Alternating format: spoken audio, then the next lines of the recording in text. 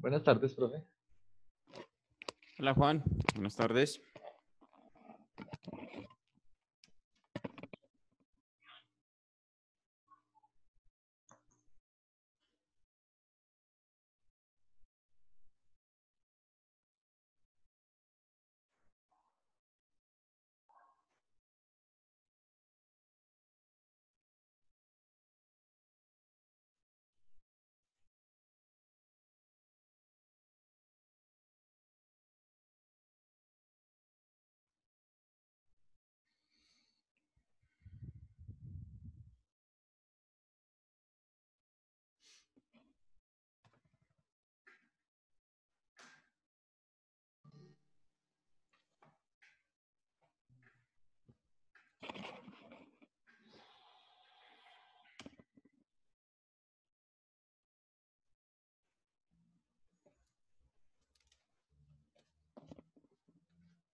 Profe, buenas tardes.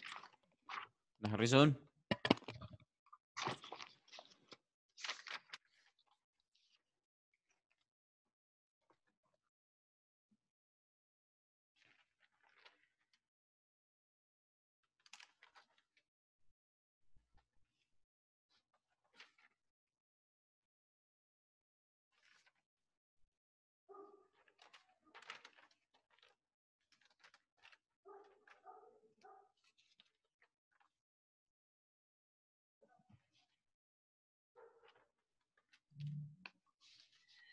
Buenas tardes, profe. Fabián. Buenas, buenas chicos, ¿cómo están? ¿Todo bien? ¿Cómo va, Fabián? ¿Cómo va todo? O copas.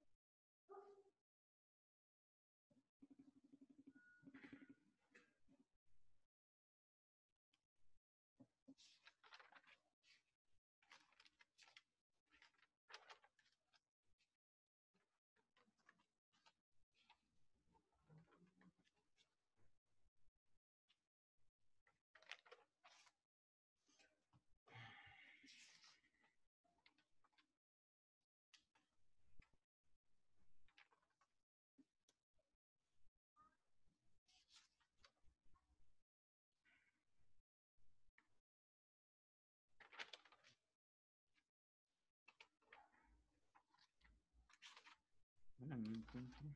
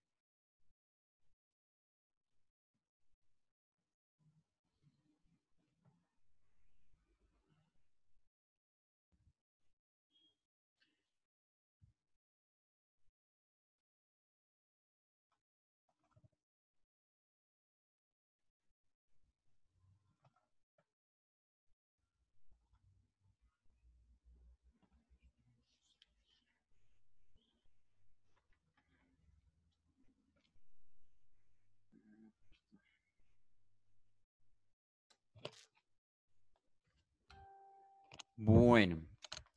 ¿Qué tal muchachos? ¿Cómo van? Buenos Bien, días, profe, Bueno, buenas tardes. ¿El ejercicio de la semana pasada quedó haciendo falta alguno de ustedes? Julián y David, ¿no, no fue? Sí, Los que no están. preciso los que no están. Bueno, entonces en ese orden de ideas vamos a empezar con, eh, mientras llegan ellos, vamos a empezar entonces la ronda con las, con las columnas que yo tengo aquí para ustedes.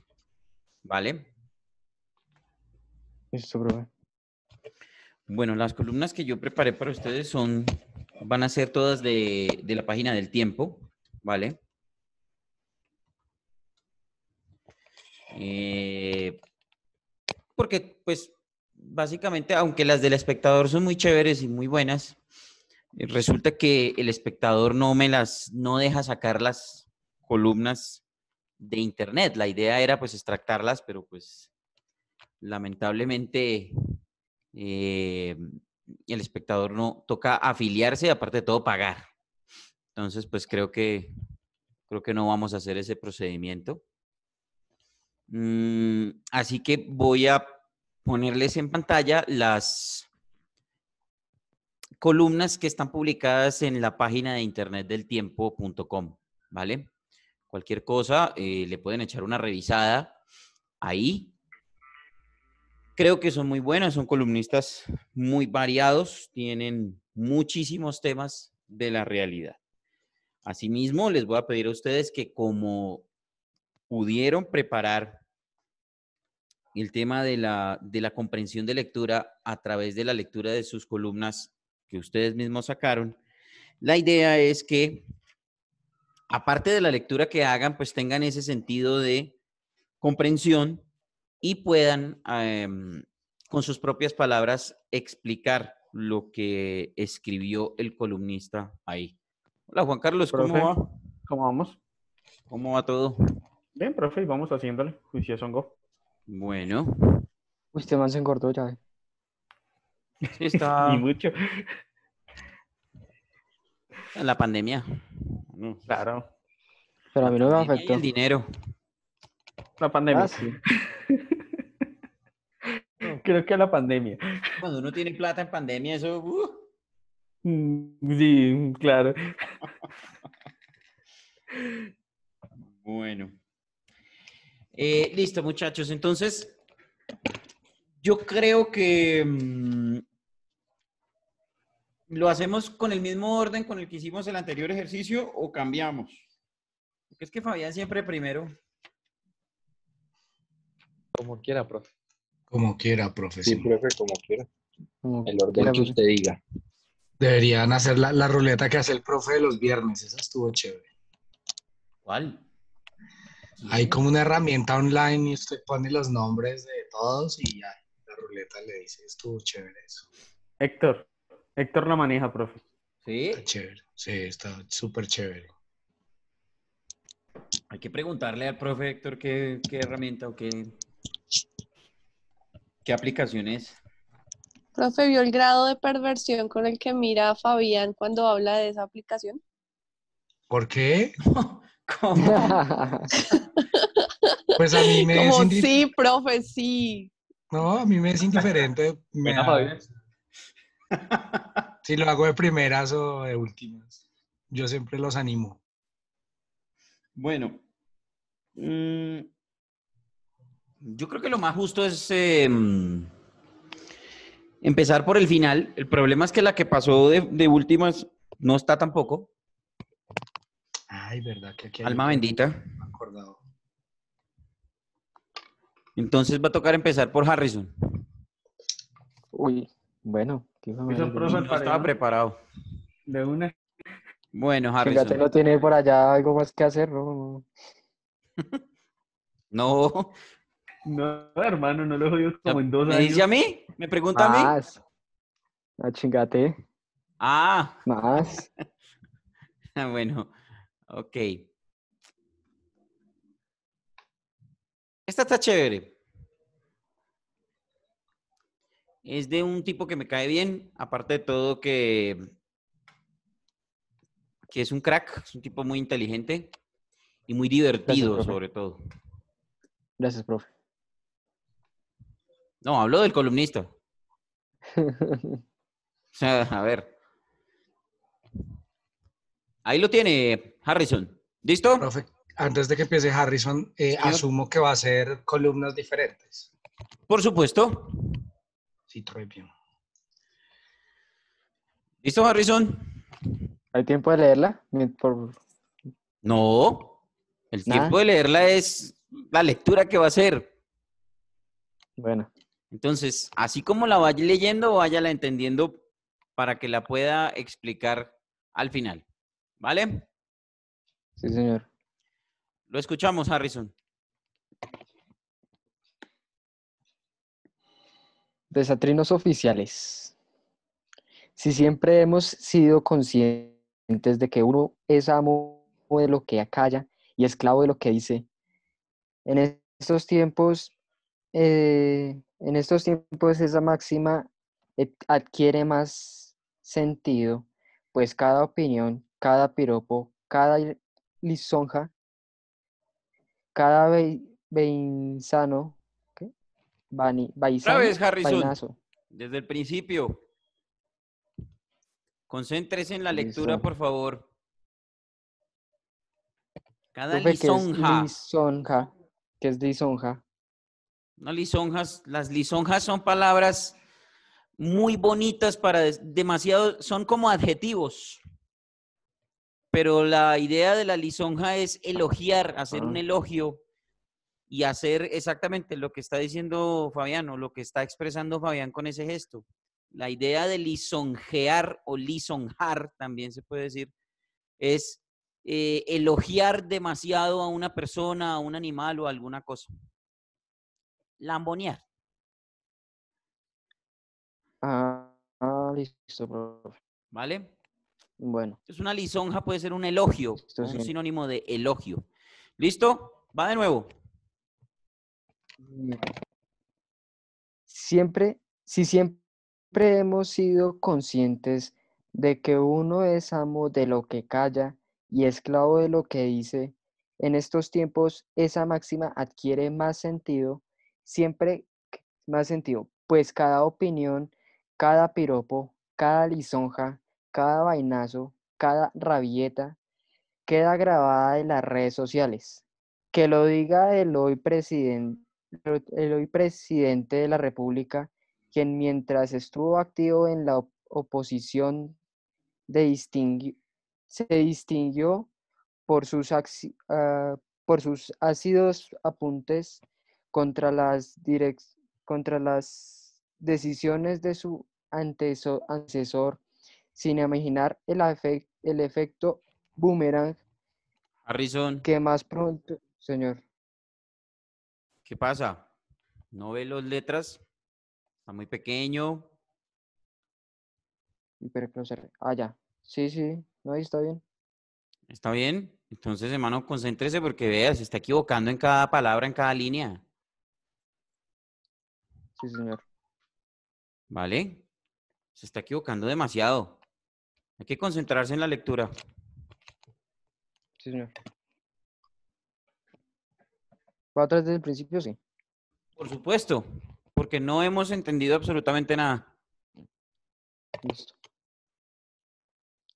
Si siempre hemos sido conscientes de que, u- de que uno es amo de lo que calla y esclavo de lo que dice, en estos tiempos esa máxima adquiere más sentido, pues cada opinión, cada piropo, cada lisonja, cada vainazo, cada rabieta queda grabada en las redes sociales. Que lo diga el hoy presidente de la República, quien mientras estuvo activo en la, en la oposición se distinguió por sus acciones, apuntes contra, contra las decisiones de su antecesor, sin imaginar el, el efecto boomerang que más pronto que, que tarde tendrá sus críticas.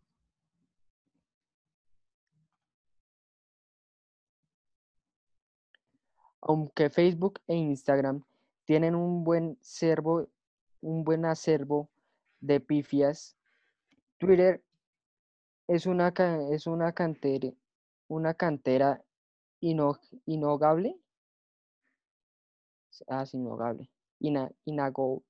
Inagotable. Aunque Facebook e Instagram tienen un buen acer- acervo de, pifa- de pifias, Twitter es una cantera inagotable.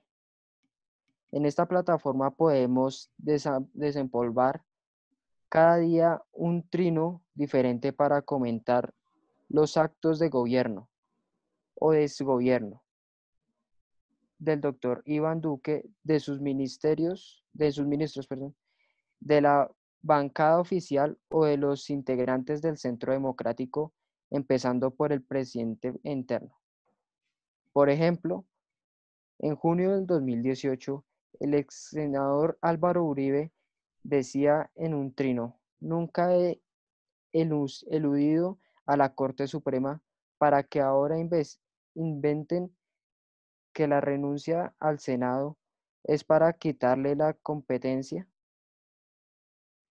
La acusación sobre testigos que me hacen, la, que me hacen basar en hechos realizados a tiempo ese que ejerzo como senador, lo cual mantiene la competencia de la Corte.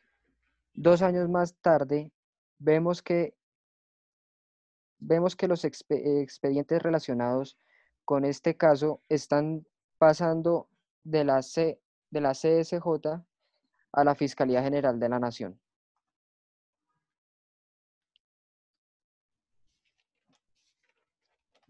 Profe, ya lo puede subir. Ahí está. Ah, ya me está subiendo, que está como lento. Ya. Y pese a que, a que faltan muchos meses para, para ver qué pasa con ese proceso, lo simpático es que al parecer el ex vicepresidente Francisco Santos ya nos tenía lista la respuesta en, la, en su cuenta de Twitter. No va a pasar nada. En la fiscalía el interés de investigar no tiene nada que ver con, con la verdad y la justicia. Tiene que ver con la política. Este trino preno- premonitorio que viene como, como anillo de al lado, viene como anillo de dado, fue escrito por Pachito en el 2011, en el año 2011. Pero la cosa no es que ahí, ya que estamos hablando del vicepresidente, estamos hablando de vicepresidencia, podemos tomar pres- prestada una, una afirmación hallada en la, en la cuenta de la doctora Marta Lucía Ramírez, quien en 2016 se refería así a la, a la injerencia de la Casa de Nariño en los antes de control. En Colombia el equilibrio entre los poderes no existen. Presidente, dueño de, dueño de leja- legis- legislativo, fiscal, contraloría, defensor y procuraduría.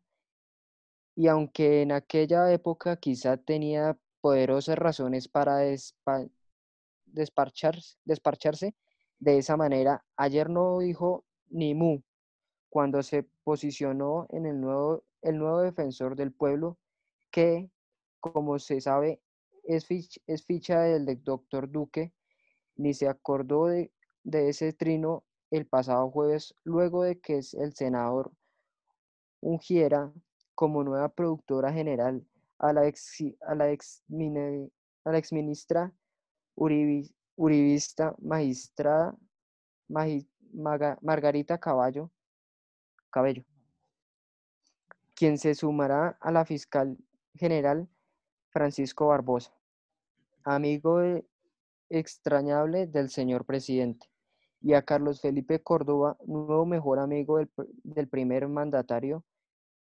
En resumen, cuatro años después, la queja de la señora vicepresidenta mantiene intacta su vigencia, pues en lo que se refiere a las IAS, el gobierno ya hizo moña- moñona.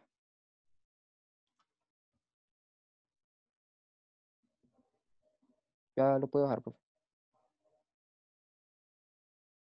Ah. Claro que el campeón del- de los desatrinos es el consejero de, de comunicaciones Hassan Nazar. Con sus trinos antiguos podría hacerse una perfecta radiografía de todas las mentiras de, de pata del gobierno para el cual trabaja.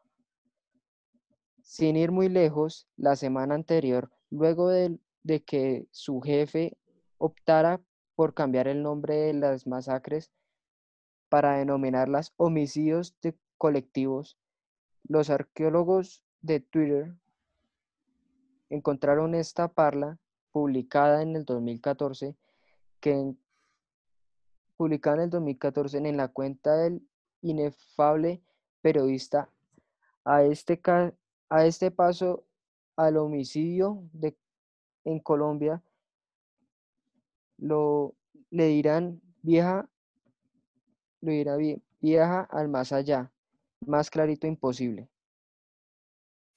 A propósito el señor presidente no se queda atrás pues sus contradicciones han sido evidentes tanto en Twitter como en columnas y discursos, en los cuales no solo, no solo se ha equivocado, sino que se contradice su sonro- sin sonrojarse, empezando por su antigua postura en contra del flapping. Sin embargo, este tema merece columna aparte.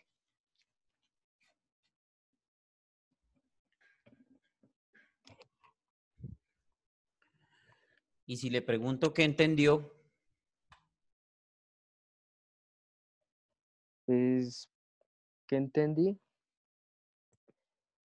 Pues ahí lo que entendí, profe, es de las con las contradicciones que ha tenido tanto el vicepresidente como el presidente actual y de todo el proceso que ha tenido ahorita lo que es con Álvaro Uribe y, y, y las, los cambios de nombres por homicidios. Mm, no, eso no es. Y no, y es lógico porque la lectura suya, Harrison, de verdad que es, eh, pues, no sé qué palabra utilizar para no ser tan cruel. Em, muy mal. Malísima. Entonces, eh, pues hermano, yo lo que veo es que usted no, no, no está haciendo, no se está ejercitando, no está haciendo absolutamente nada. Cuando tiene un texto para prepararlo, sí bien y todo, y, se le mete, pero así con un texto de primerazo, no. Y me preocupa, me preocupa porque son demasiados, demasiados fallos en la, en las, casi que en cada línea se equivoca en los textos. Y me preocupa porque eso es falta de trabajo. Y eso es una vaina que debe venir desde, desde el principio, desde el colegio, desde todo. Su lectura no es nada fluida, se equivoca, son desconcentración tras desconcentración, tropiezo tras tropiezo. Entonces, eh, a estas alturas y a este nivel, es muy difícil, muy difícil que yo tenga que retroceder para enseñarle a leer. Entonces, Harrison o se pone a la par, o trabaja, o se disciplina, y se lo digo con todo el cariño del mundo, esto no es lo suyo. Porque, hermano, señor. yo nunca, no, no, nunca he tenido la posibilidad, es más, nunca había querido tener que decirle esto a un estudiante. Pero, hermano, si usted no trabaja, si usted no se pone las pilas, la vez pasada, a trancas y a mochas, metió su ejercicio y lo hizo bien.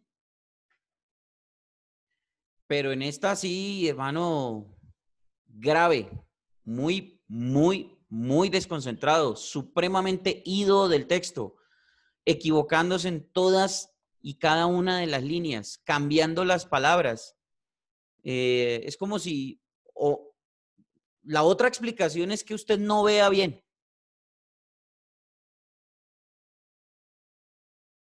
Porque no, no encuentro otra No, pues, explicación para uno a este nivel estar leyendo en un, en un curso de locución, ya en segundo semestre, estar leyendo tan mal. ¿Vale? Entonces, hermano, Sí, señor. trabaje, practique, lea, porque es de la única manera que puede agarrarle, agarrarle el tiro. Ahora, si, es, si son los nervios, hermano, pues entonces hay que mirar a ver eh, y trabajarlo, porque es que yo no como gente, mucho menos desde acá sentado en mi casa a través de una pantalla de televisión. Y resulta, pase, acontece que la lectura es una de las bases fundamentales de esta carrera. Porque si usted se mete a noticias, tiene que leer. Si usted se mete a hacer eh, deportes, tiene que leer. Si usted se, tiene, si usted se mete a, a narración deportiva, pues tiene que tener una fluidez verbal para poder describir lo que está pasando en la pantalla. ¿Vale? Y aparte de todo, pues probablemente tendrá que leer para saberse las alineaciones y todo eso. Entonces, la base fundamental de este tema de la locución, por eso es que yo los pongo a leer. Y por eso en primer semestre los pusieron a leer. Entonces, hermano, póngase las pilas con eso, viejo, porque ya estamos en segundo semestre de un curso de locución y producción de medios audiovisuales, una base fundamental para una eventual carrera de comunicación social y de periodismo. Y si usted sigue con esas deficiencias tan graves en lectura, hermano, yo no me puedo devolver hasta cuarto, quinto de primaria a enseñarle a leer. Entonces, Sí, señor. reflexión, hermano, y, y preséntelo la próxima vez porque no le voy a calificar hoy porque sería, sería tirármele la, la nota, hermano. Listo, sí, señor. Bueno, Julián, usted me quedó debiendo el semestre, el semestre pasado. La semana pasada, el ejercicio de su columna.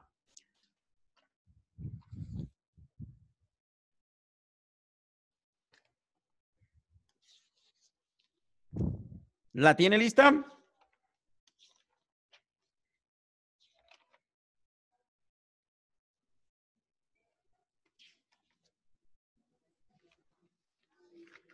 Julián. Sí, lo veo, pero no lo escucho.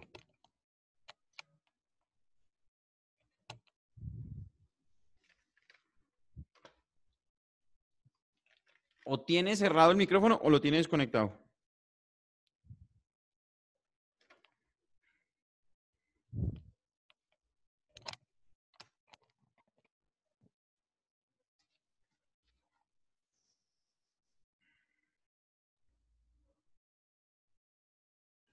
Hola, profe, qué pena con usted.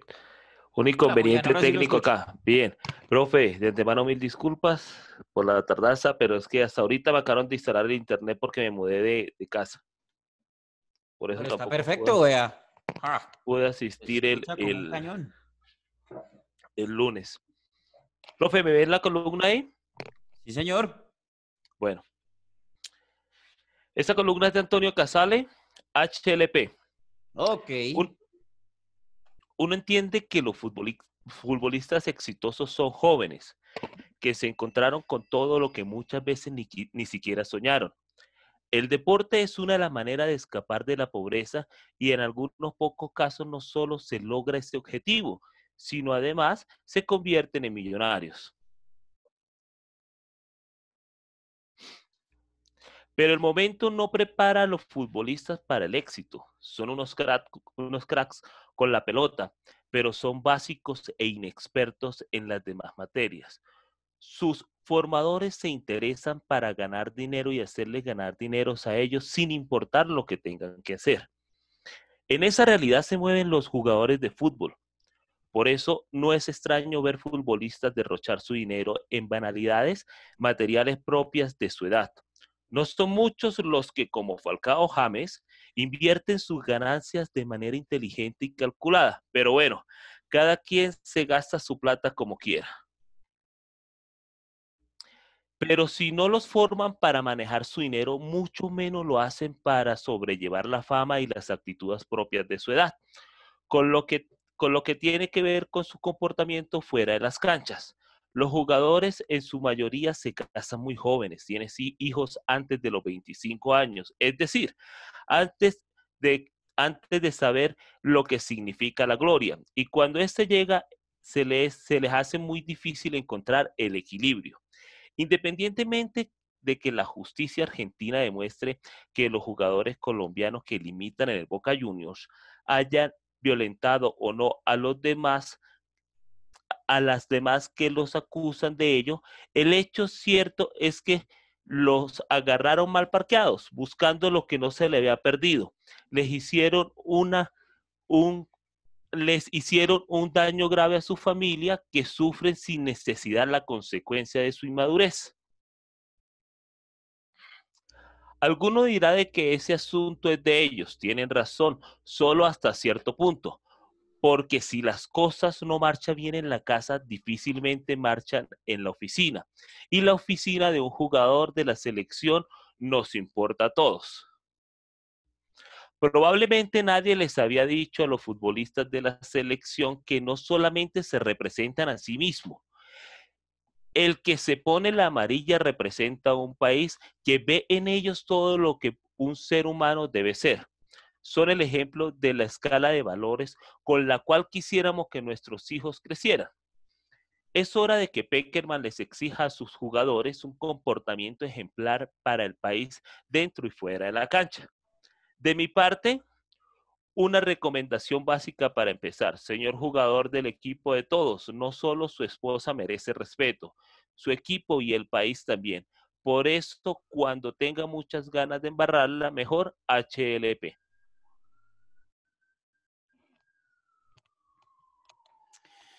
Dos minutos para que me explique qué acaba de leer.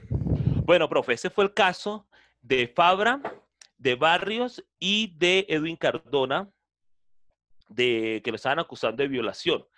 Pero ahí lo que habla el texto es lo que pasa generalmente con todos los futbolistas o una gran mayoría de futbolistas que tratan de escapar de su pobreza y que no solamente ven el fútbol, sino varios deportes para escapar de, de la vida que llevan.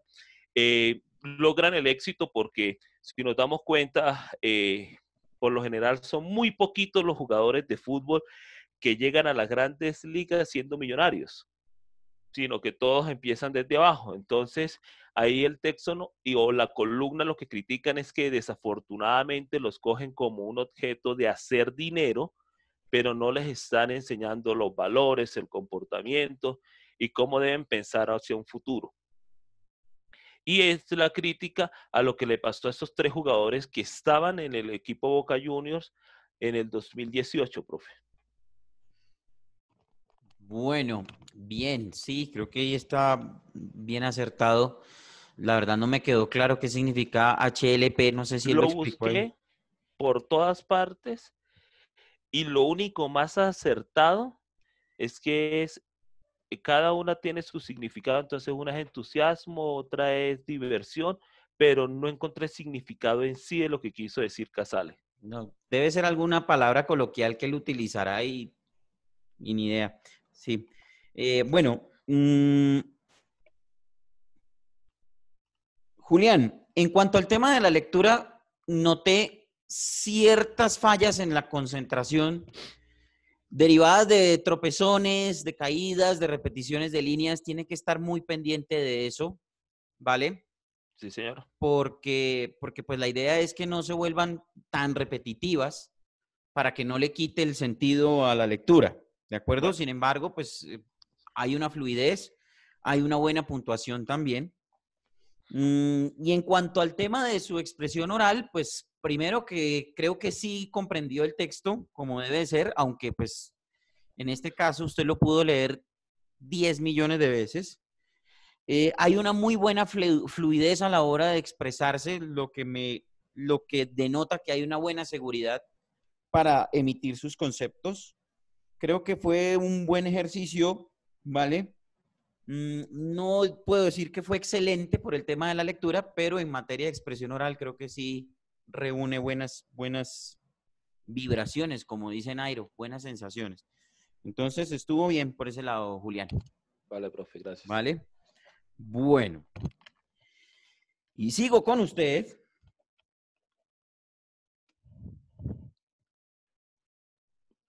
Para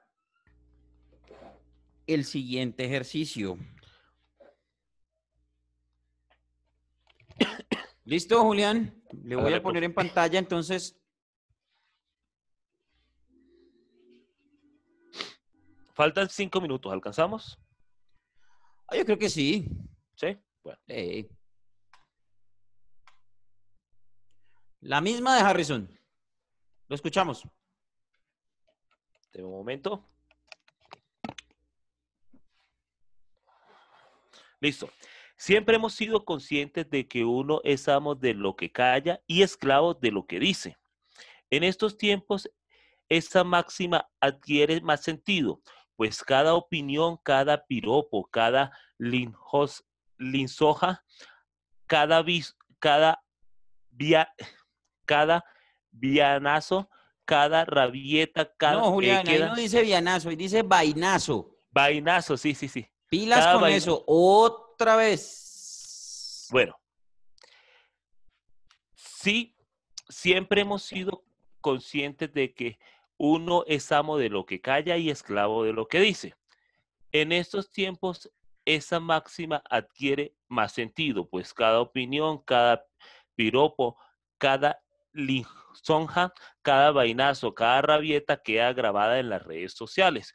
Lo que digo hoy, presidente de la República, quien mientras estuvo activo en la oposición se disgustó por sus ácidos apuntes contra las decisiones de su antecesor sin imaginar el efecto Boomerman, Boomerman que más pronto que tarde tendría sus críticas. Aunque Facebook e Instagram tienen un buen acervo de pifias, tweet- Twitter es una cantera inagotable. En esta plataforma podemos desempolvar cada uno de los trinos diferentes para comentar los actos del gobierno o desgobierno del doctor Iván Duque, de sus ministros, de la bancada oficial o de los integrantes del Centro Democrático, empezando por el presidente enteri- eterno. Por ejemplo, el 28 de julio, el ex senador Álvaro Uribe eh, decía en un trino, nunca he eludido a la Corte Suprema para que ahora inventen que la renuncia al Senado es para quitarle la, la competencia. La acusación sobre testigos que me hacen la basan en hechos realizados a tiempo de ejer- que ejerzo como senador, lo cual mantiene la competencia de la Corte. Dos años más tarde, más tarde vemos que los, que los expedientes relacionados con este caso están pasando de la Corte Suprema de Justicia a la Fiscalía General de la Nación. Y que pese a que faltan muchos, muchos meses para ver qué pasa con este proceso, lo simpático es que al parecer el ex, ex vicepresidente Francisco Santos ya nos, ya nos tenía lista la respuesta para su cuenta de Twitter. No va a pasar nada. En la fiscalía el interés de investigar no tiene nada que ver con la verdad y la justicia. Tiene que ver con la política. Este trino premonitorio que viene como anillo al dedo fue escrito por Pachito en el año 2011. Pero la cosa no se queda ahí.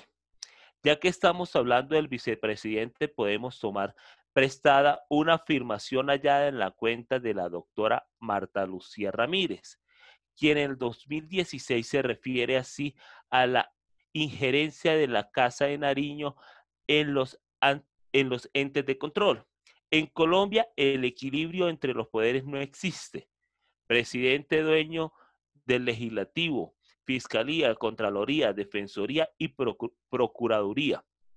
Y aunque en aquella época quizás tenía poderosas razones para despacharse de esa manera, ayer no dijo ni mu cuando se posesionó el nuevo defensor del pueblo, que como sabe es dicha, es dicha del doctor Duque, ni se acordó de ese trino del pasado jueves.